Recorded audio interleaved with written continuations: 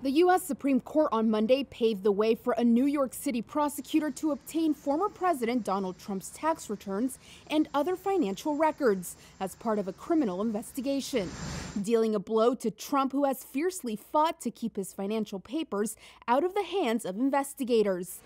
The justices, without comment, rebuffed Trump's request to put on hold a lower court ruling directing his longtime accounting firm, Mazars, to comply with a subpoena. Manhattan District Attorney Cyrus Vance Jr., who has been seeking Trump's tax records as part of an investigation that began more than two years ago, had subpoenaed the records from the accounting firm. But Trump's lawyers sued to block the subpoena, arguing that as a sitting president, Trump had absolute immunity from state criminal investigations.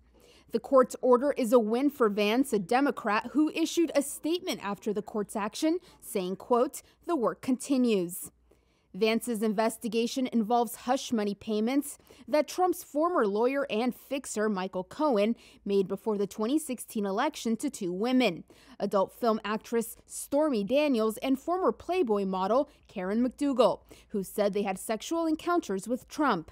The Supreme Court, which has a 6 to 3 conservative majority, including three Trump appointees, had already ruled once in the dispute. Last July, it rejected Trump's broad argument that he was immune from criminal probes as a sitting president. Unlike all recent U.S. presidents, Trump refused during his campaign and four years in office to make his tax returns public. The data could provide details on his wealth and the activities of his family real estate company, the Trump Organization.